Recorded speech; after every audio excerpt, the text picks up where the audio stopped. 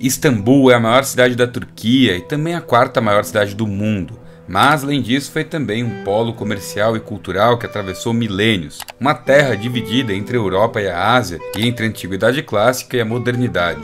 Um país muçulmano com igrejas cristãs e deuses gregos nas ruas. Um local cuja arte e arquitetura demonstram a densidade do tempo e dos povos que por lá passaram, se misturaram e coexistiram.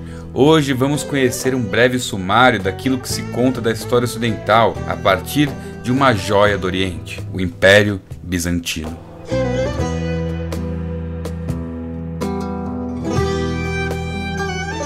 O marco final do mundo antigo, do ponto de vista da história documentada ocidental, foi a queda do Império Romano, mais precisamente do Império Romano do Ocidente, que sucumbiu diante das invasões dos povos bárbaros em meados do ano de 476. Neste momento, aquela denominada Idade Antiga dá lugar à famosa Idade Média. Mas a bem da verdade foi apenas a porção europeia ou ocidental do Império Romano que rodou, transformando aí a região da Europa em um grande conglomerado de reinos bárbaros que pouco tinham a ver com o passado romano, para além do crescente cristianismo.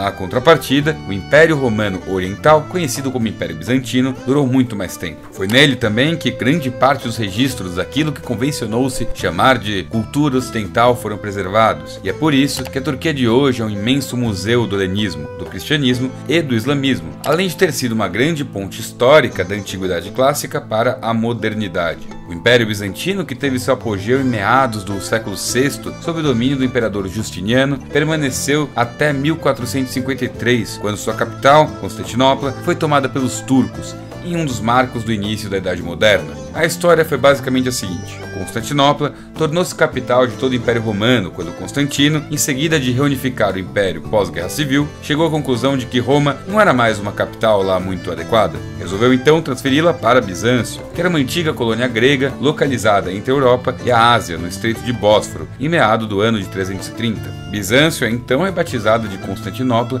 torna-se capital. O termo bizantino designa, portanto, todo o corpo de criação cultural de todo o Império Romano do Oriente, fundado por Constantino, o imperador que se converteu cristão. Junto com a capital, chegou lá também o cristianismo, que acelerou seu processo de expansão até que, em 391, Teodósio a religião oficial do império.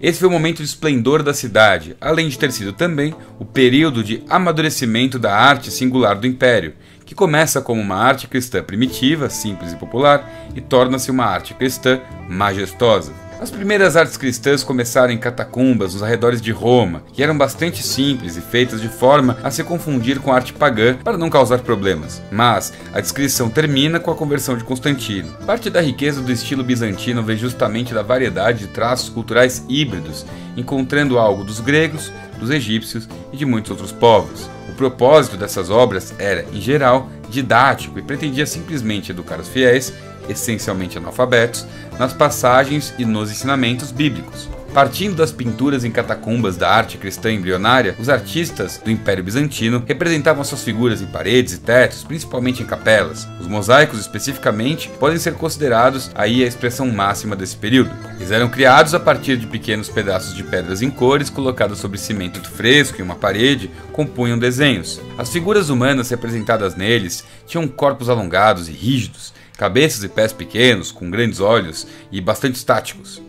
No que compete à arquitetura bizantina, o destaque fica nas grandiosas cúpulas, construídas e sustentadas sobre colunas e arcos. As igrejas eram planejadas a partir de bases circulares, octogonais ou quadradas, acima das quais se construía o corpo da obra, o que garantia que os espaços fossem bastante amplos, os interiores eram inteiramente adornados e decorados, tornando esses prédios verdadeiros espetáculos arquitetônicos. Há vários exemplos de prédios bizantinos dignos de nota, entretanto, vale destacar uma obra-prima em especial, a Basílica de Santa Sofia. Esta que em 1935 tornou-se o Museu de Santa Sofia e que fica localizada em Istambul, na Turquia, é provavelmente a mais clara realização das buscas estéticas bizantinas. Ela foi construída em sua forma atual entre 532 e 537 d.C., sob a supervisão do imperador Justiniano I. Ela tem a característica marca da cúpula sobre a planta quadrada, que falamos agora há pouco e essa cúpula é formada por quatro arcos e ampliada por duas absides. A nave central é toda circundada por colunas, trabalhadas e cheias de detalhes que remetem às colunas coríntias. E para completar, o interior é todo revestido de mármore e mosaicos que são iluminados pelas muitas janelas e arcos. Essa igreja, além de ser um espetáculo visual, além de ser um prédio lindíssimo, é também uma prova muito interessante de civilidade. Afinal, veio no dia 29 de maio de 1453 Mehmed II derrotou o último imperador bizantino, assumindo o controle do império. A Basílica de Santa Sofia, que poderia muito bem ter sido destruída pelos invasores, foi apenas transformada em mesquita. A cruz que ficava em seu cume foi trocada por um crescente, mas o prédio como um todo, felizmente continua preservado e muito bem cuidado, podendo encher os olhos de qualquer um que o visite.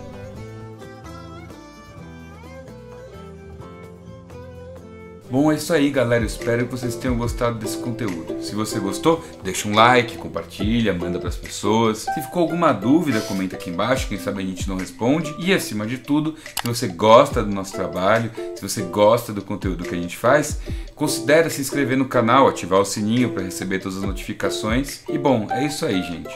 Um gigantesco abraço. Tchau, tchau.